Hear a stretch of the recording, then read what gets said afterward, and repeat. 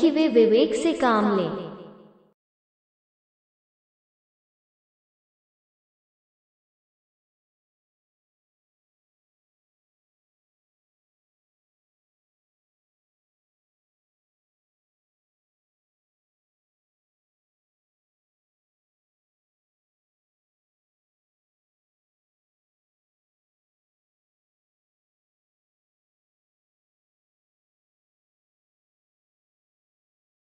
Hello guys welcome to कहानीकार की कहानियाँ। जैसे हमने आपसे वादा किया था कि हम एक नया सीरीज़ लेके आ रहे हैं तो आज इस सीरीज़ का पहला एपिसोड है। ये सीरीज़ थोड़ा सा हटके है इन टर्म्स ऑफ़ जो हम लोग करते आ रहे हैं, यानी पॉडकास्ट जो ऑडियो पॉडकास्ट हम लोग करते आ रहे हैं, उसके, उससे थोड़ा सा हटके हम लोग ये सीरीज़ वीडियो में करेंगे। यानी आपके साथ, मेरे साथ घटी कुछ सच्ची घटनाओं को हम वीडियो के माध्यम से आप तक पहुंचाएँगे। दोस्तों, इंसान सोचता है कि वो सब कुछ जानता है, मगर ऐसी बहुत सी बहुत सी चीज़ें हैं जो वो अभी तक पूरी तरह से जान नहीं पाया है। ऐसी बहुत सारी घटनाएँ हैं जो आपके साथ, मेरे साथ, कभी ना कभी, कहीं ना कहीं घटी जिनका ना आज तक कोई भी वास्तविक विश्लेषण आपको मिला है, ना मुझे मिला है। एक अजीब सी फीलिंग अजीब सा डर, कुछ ऐसा ही महसूस किया हिमालयन रीजन के अमन आहूजा ने। चलिए, आज हम शुरू करेंगे अमन आहूजा की कहानी के साथ लेकिन उससे पहले let's roll the intro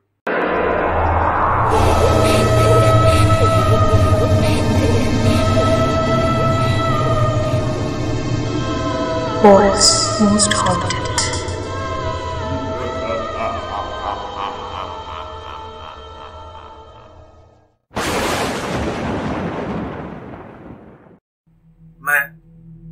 Ahuja मैं हिमालयन रीजन्स में रहता हूँ।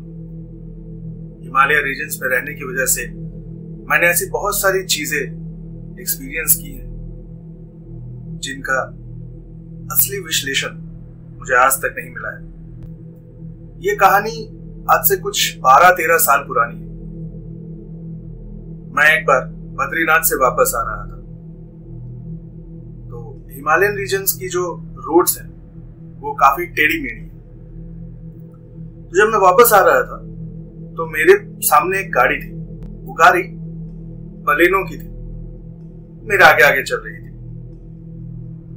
अचानक एक मोड़ के बाद मैंने देखा कि वो गाड़ी सामने नहीं थोड़ी देर बाद मैंने देखा कि वो गाड़ी मेरे पीछे है। मैंने सोचा, ये क्या हुआ? हो सकता है शायद किसी टाइम पे मैंने उसे ओवरटेक कर दिया। मगर फिर से दो मोड़ के बाद मैंने उसी गाड़ी को अपने सामने पाया। मैं अभी तक समझ नहीं पाया था कि क्या हो रहा है।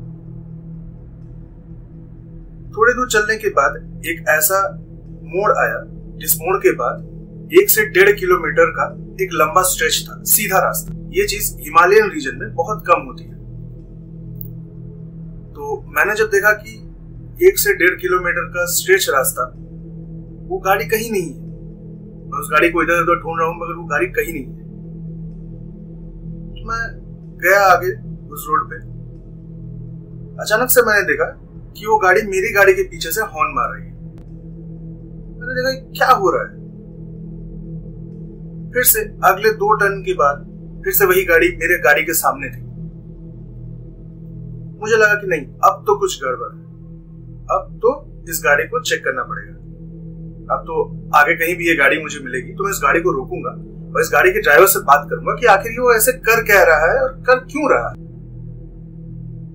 फिर आगे जाते जाते, अगले दो टर्न के बाद मैंने देखा कि वो गाड़ी फिर से मेरे पीछे है।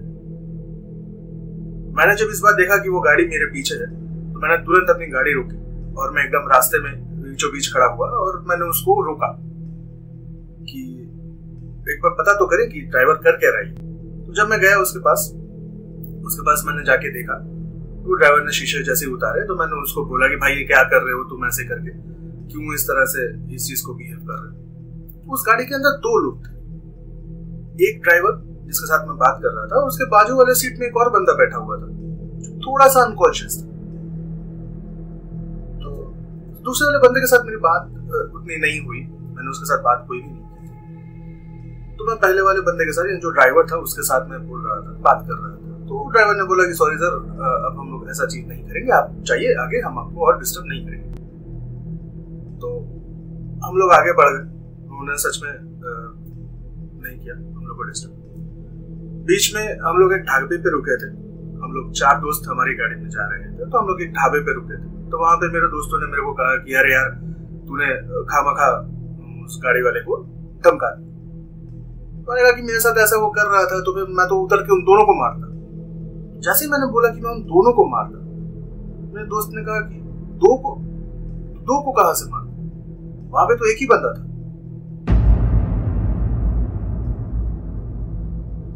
मुझे ऐसा रियलाइज़ हुआ कि शायद मेरे दोस्तों ने सही तरह से देखा नहीं।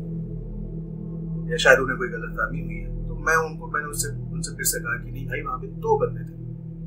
बंदा जो गाड़ी ड्राइव कर रहा था, एक बंदा उसके बाजू में था। मेरे तीनों दोस्तों ने मुझे एक ही बात कहा कि उस गाड़ी में एक ही बंदा था, वहाँ दो बंदे नहीं थे।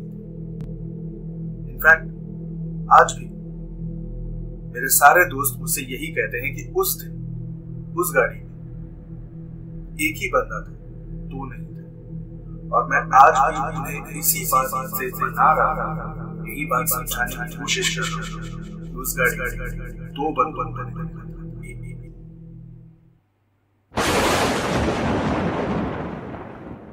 तो ये थी अमन आहूजा की कहानी। देखा आपने? मैंने कहा था ना, बहुत सारी ऐसी चीज़ें हैं जिनका सही विश्लेषण इंसान के पास नहीं होता है।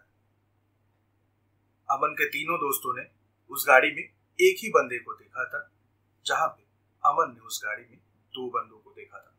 उम्मीद करता हूँ आपको ये स्टोरी अच्छी लगी होगी। अगर आपको ये स्टोरी अच्छी लगी है तो हमें प्लीज़ लाइक कीजिए, इस कंटेंट को शेयर कीजिए और हमारे चैनल को सब्सक्राइब कीजिए, क्योंकि इस सीरीज़ के नए अपडेट्स अब इस चैनल पे आते रहेंगे। Till then stay safe